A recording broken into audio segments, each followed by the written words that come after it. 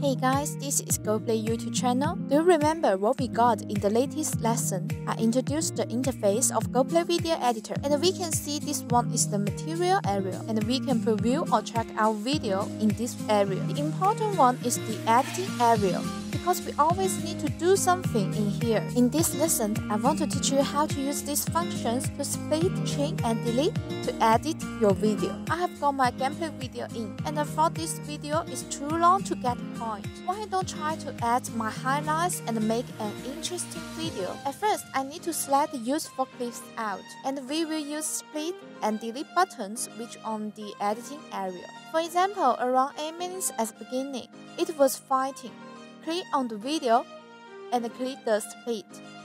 You will see it has been split to two video clips according to the frame and then you can click the extra clip and delete it. If you do it wrong, you can click the undo button. It will back to the last operation. And click the redo back to the original operation again. Okay, I have cut my clips out, but how to combine several clips together I will teach you in the last lesson. See you next time. Bye.